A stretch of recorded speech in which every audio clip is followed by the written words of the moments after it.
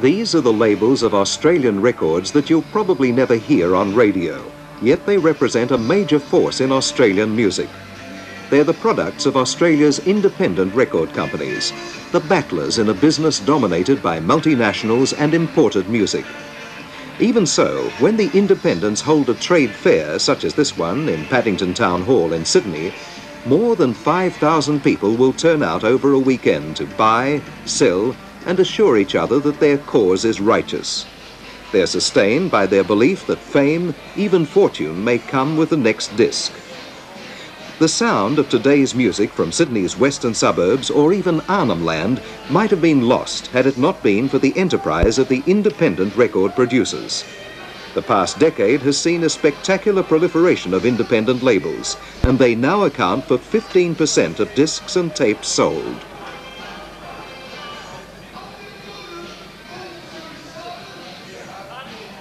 The economic downturn has hit the major record companies, and they are cutting back on signings of Australian artists. The independents, on the other hand, claim they're expanding.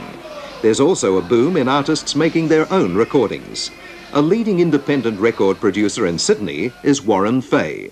For an artist to get the prestige that he wants or she wants in a work situation, it's very important to be able to say, here's my record or here's my videotape um, this is what I do. Because in many cases, you just can't go in there like in the old days and pick up a guitar and say, well, here's my song and sing it. It just doesn't work like that anymore because the artist is required to perform in large concert situations or television concerts or whatever. So uh, they've got to have the goods. There's also the other aspect that we as Australians have a right to hear Australian music on our radios, on our television, and on our records. And if the records aren't made, we will only hear American and British music on our radio.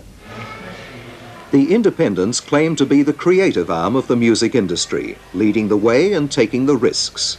Warren Fahey set up Larrikin Records 10 years ago to fly the flag for a wide variety of Australian music.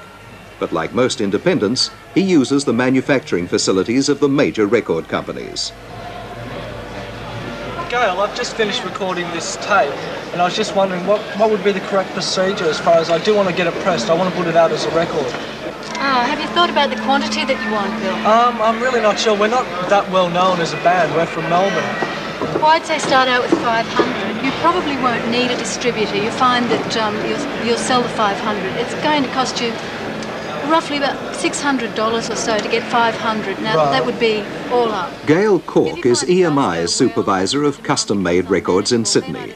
There's good money to be made out of providing studio facilities and manufacturing services to the burgeoning music world. However, the economics are a little shaky when it comes to distribution and sales. Everyone hopes for a hit, but as Warren Fahey says, not many make it. Very few. Um, the word hit to us as independents is um, something that we just don't even think about. Uh, if we happen to make a record that sells, fantastic, you know, it's great. Uh, we nearly all look at our record productions as, you know, let's hope that we get our money back. Uh, if we make a small profit, fantastic. If it sells really well, sensational. Um, it's important for the lifeblood of any independent record company to have records that sell. If they don't sell, we stop making records.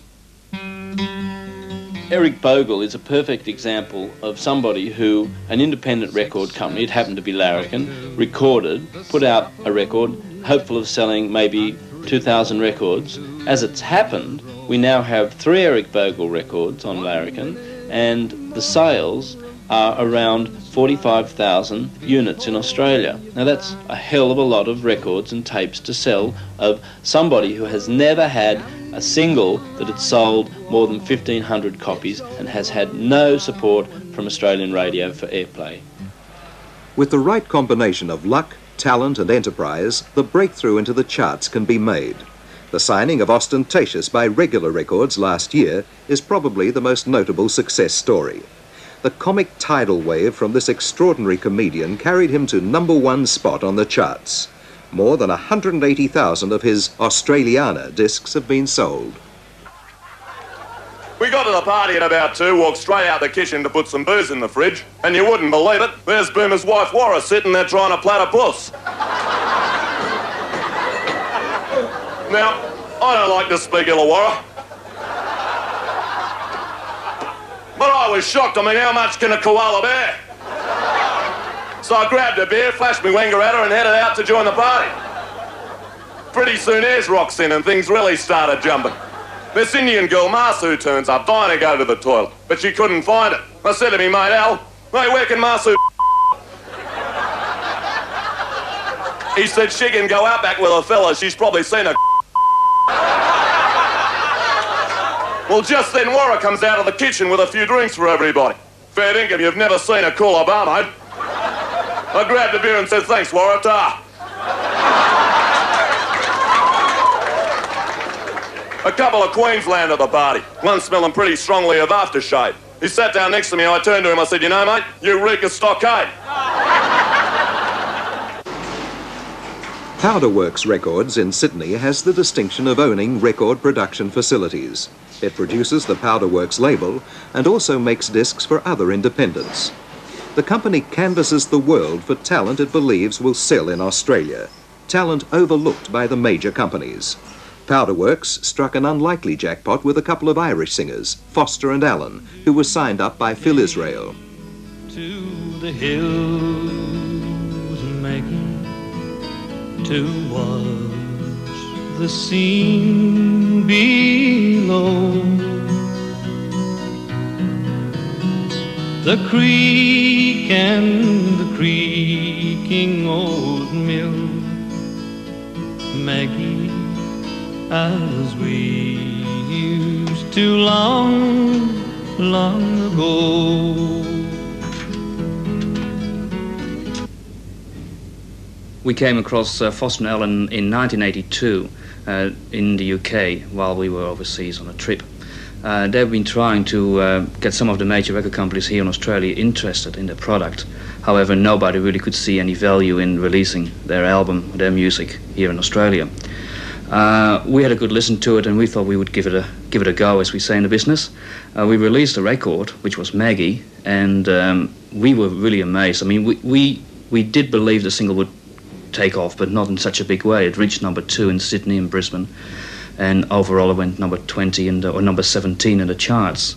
Uh, in the middle of 1983, we released an album uh, by Foster and Allen, their debut album, also entitled Maggie, which has turned gold, which means uh, sales of 35,000 units.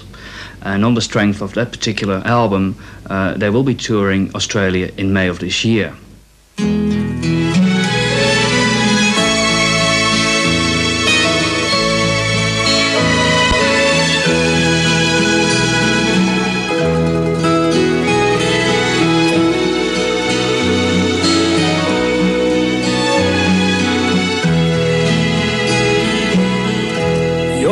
Forever telling me I'm weak. When I'm criticized, I never speak. I prefer to turn the other cheek. But I will love you all my life. I can never do things right by you. I'm the kind of man who muddles through can find mistakes in all I do. But I will love you all my life. Something foolish happens and you see. In the middle of it all, there's me. Seems I cause you so much misery. But I will love you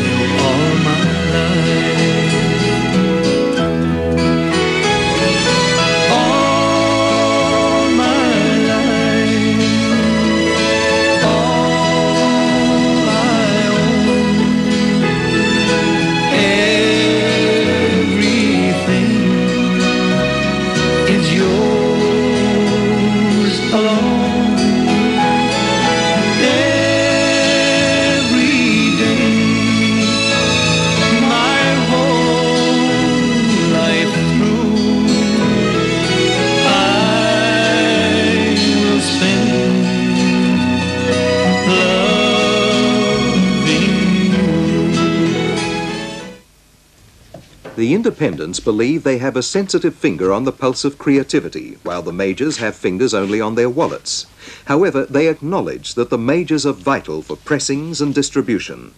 According to Warren Fahey, the independent record industry is thriving, despite some major handicaps.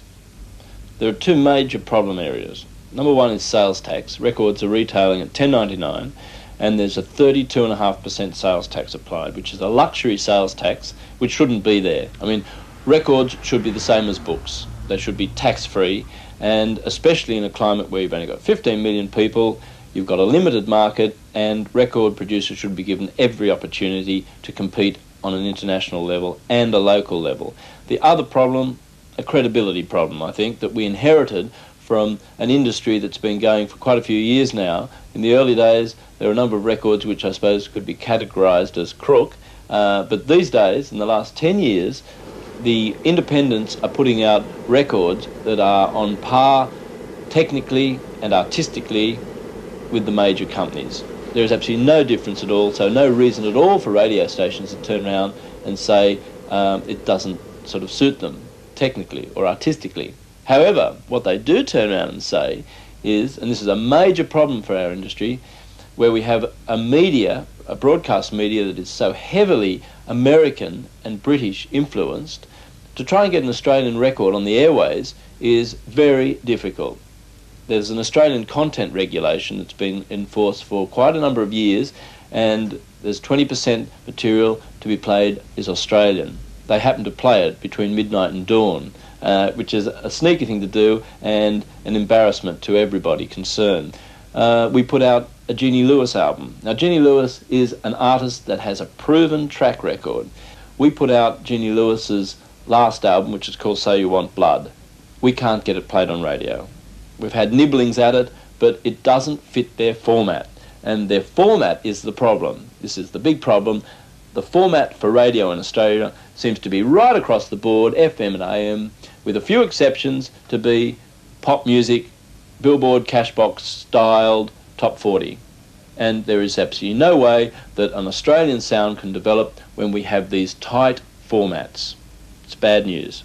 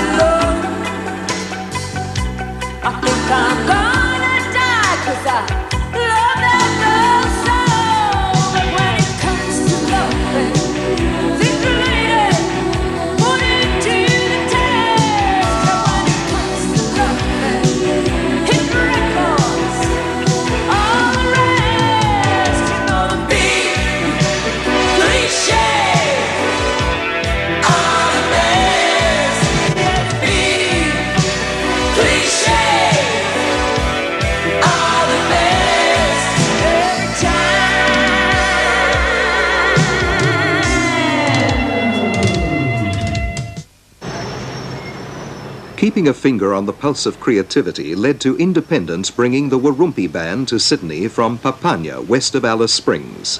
The Aboriginal FM station in Alice Springs made a tape of the group and Hot Records put out the disc. Because of its big success, they're currently touring the Northern Territory and Western Australia.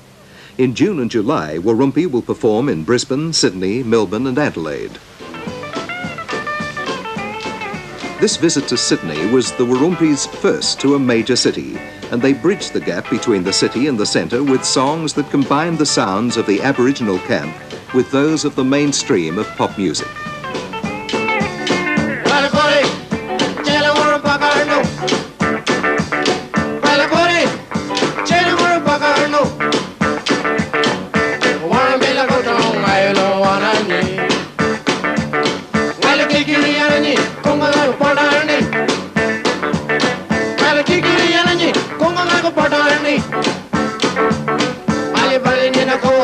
cahuelengo. Calidela, akojo kojo wani iko. Calidela, akojo kojo wani iko. Ali wanti dura go, wari jongri go.